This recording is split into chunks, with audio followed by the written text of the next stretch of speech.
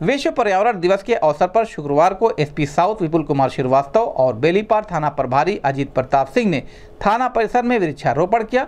इस संबंध में एसपी साउथ विपुल कुमार श्रीवास्तव ने बताया कि हम सबको पर्यावरण को बचाने में अपना पूरा योगदान करना चाहिए, क्योंकि पर्यावरण सुरक्षित रहेगा तो ही हम सुरक्षित रहेंगे। प्रत्येक मानव को अपने जीवन में ज़्यादा से ज़्यादा वृक्षारोपण करना चाहिए, जिससे पर्यावरण संतुलन बना रहे और हम लोग भी सुरक्षित रहें। इस संबंध में गोरखपुर न्यूज़ से बात करते हुए एसपी साउथ विपुल कुमार श्रीवास्तव ने कहा।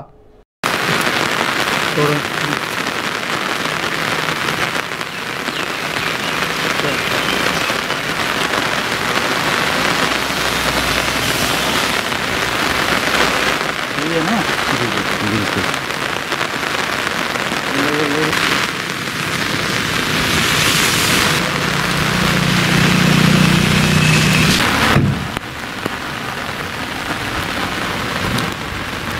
आज विश्व पर्यावरण दिवस है। इस अवसर पे आज ये वृक्षारोपण किया जा रहा है। आज थाना बेलीपार में मेरे द्वारा भी किया गया और थाना अध्यक्ष द्वारा वृक्षारोपण किया गया